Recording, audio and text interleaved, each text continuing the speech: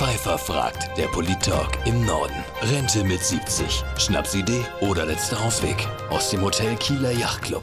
Wir haben ein Rentenkassenproblem, weil nämlich nicht alle einzahlen. Sie lösen damit kein Problem. Wir wollen erreichen, dass ein Fonds existiert, um euch sehr viel mehr Sicherheit zu geben als bisher. Wir müssten eigentlich viel stärker die heimische Produktivitätsentwicklung im Auge behalten, aber das passiert nicht. Es gibt nur zwei Berufe, wo das funktioniert. Das ist Papst und Bundespräsident. Also natürlich darf derjenige, äh, der länger arbeitet, nicht äh, bestraft werden.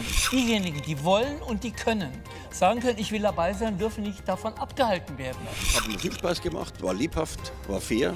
Man hat verschiedene Aspekte beleuchtet von verschiedenen Seiten. Ob denn einige des Menschen hier was mitbekommen haben? Pfeiffer fragt ist nicht der Mittelpunkt, sondern die Debatte ist der Mittelpunkt. Pfeiffer fragt, der Polit-Talk im Norden. Samstag, 19. März, 18 Uhr. Auf DRF 1.